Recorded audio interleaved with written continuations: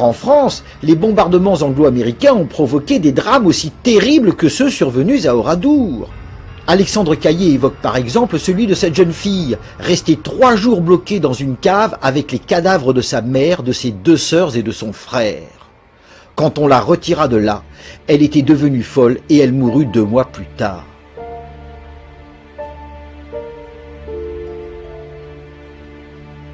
De son côté, ce veuf père de deux fillettes raconte Le bombardement avait commencé. Comme nous n'avions pas d'abri, j'emmenai ma mère et mes deux filles dans la buanderie. Je me rendis vite compte que le bombardement ne visait pas seulement quelques points, routes ou voies. Systématiquement, on démolissait la ville. Les bombes tombaient en quinconce. Nous fûmes pris entre deux torpilles et couverts de débris. Cette fille-ci, moins, moi, plus. Mais je commençais à me dégager. Ma mère était écrasée sous un monceau de pierrailles. Ma petite fille, qui me tenait encore le bras, gisait sous les décombres. Respires-tu lui demandai-je. Oui, papa, encore. Alors je vis des voisins qui fuyaient.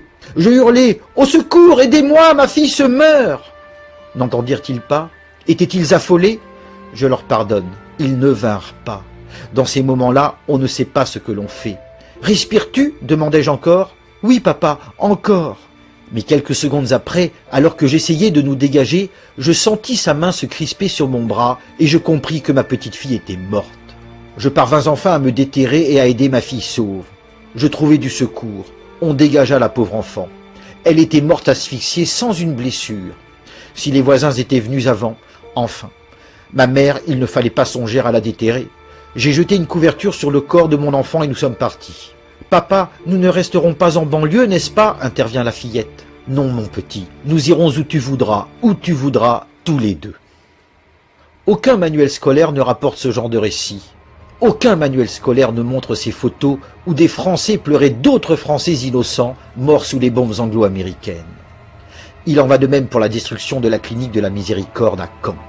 Le 6 juin 1944, de nombreux blessés du premier bombardement y avaient été amenés. Dans la nuit du 6 au 7, l'établissement fut touché par les bombes. Un sauveteur venu sur les lieux raconte Des scènes atroces s'y déroulent. Un malade opéré la veille d'une hernie double, après avoir réussi à se dégager au prix de terribles souffrances, a soutenu le plafond écroulé jusqu'à ce qu'on réussisse à dégager sa fille. Des bombes incendiaires communiquent le feu au bâtiment sinistré. C'est un sauve-qui-peut général. Des malades, des blessés se jettent par les fenêtres pour échapper aux flammes. De partout montent des cris et des supplications.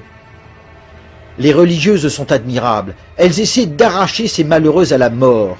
Elles réussissent à dégager à moitié le corps d'une femme. Mais la chaleur n'est plus supportable et elles doivent la laisser brûler vive, impuissantes et terrifiées.